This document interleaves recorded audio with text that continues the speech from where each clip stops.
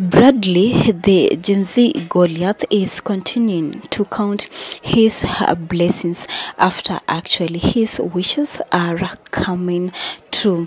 And this was one of his wishes. Remember, he has uh, been wearing just shorts because most of the trousers they were reaching at the knee. But right now, actually, he has found clothes or he has been made clothes that fit him. As you can see on the screen, uh, this is a suit and he is wearing a shoes courtesy of a political influencer that we shall be talking about him who have made this uh, possible. And uh, this is coming after director Trevor actually him on a social media plat various social media platforms and he trended he reached citizen tv various uh, mainstream media houses and now he is here.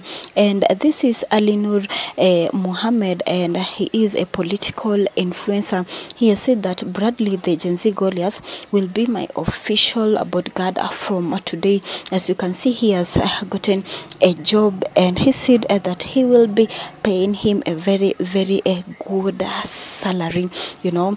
You can just drop your opinions down below in the comment section. Many people on the social various social media platforms are saying when uh, god has said that you know this is your time actually it is your time. No one shall say no. And many people are saying that this is a bradley's time to shine on. And director trevor is currently his um, manager. He opened him a youtube channel and right now it is uh, doing so so well. Of course i know he has started making money in his uh, channel and he is doing so so well. And director trevor also pointed on so many brands or rather companies to come and work with you know bradley the Gen Z goliath because he is or he is going to be the biggest influencer here in Kenya.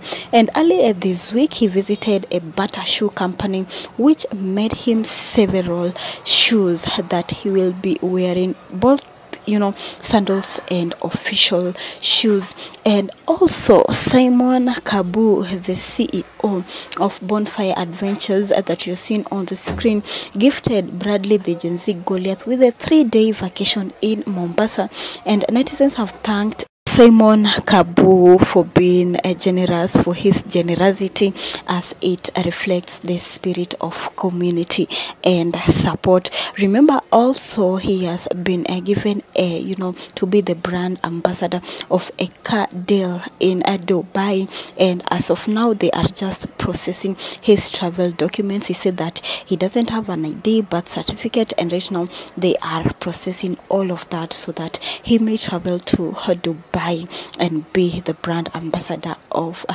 this car deal. What are your thoughts? Feel free to share them down below the comment section.